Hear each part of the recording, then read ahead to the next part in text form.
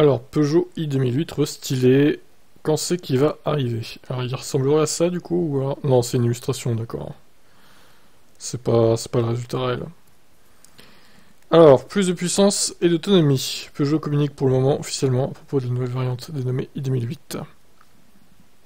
Un nouveau logo, donc le moteur, le nouveau moteur hein, qu'ils vont mettre sur toutes les voitures. On va passer à 156 chevaux. La batterie gagnera environ 2 kWh. Waouh 52 kWh, magnifique.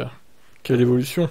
Une faible amplitude, mais sa nouvelle chimie lui permettra aisément de dépasser les 400 km d'autonomie contre seulement 320 jusqu'à présent. Oui, ça, ça reste à confirmer en test réel hein, quand même. J'y crois pas trop.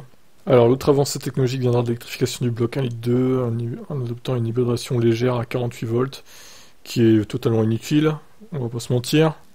Après la révélation de ce nouvel i2008, on peut espérer une arrivée en concession à l'automne. Difficile cependant de mettre une fourchette de prix, tant les tarifs des véhicules électriques jouent au yo-yo. À l'heure actuelle, ils réclament un peu plus de 40 000 euros.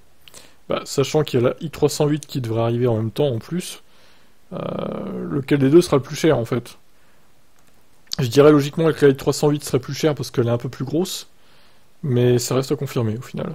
Je vous laisse commenter.